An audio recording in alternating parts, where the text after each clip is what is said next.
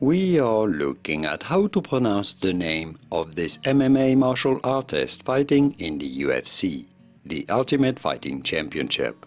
How do you go about pronouncing his name?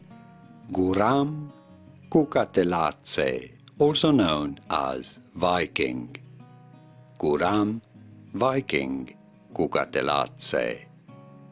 Here are more videos on how to pronounce the names of more MMA fighters whose pronunciations aren't exactly always obvious. I'll see you there to learn more.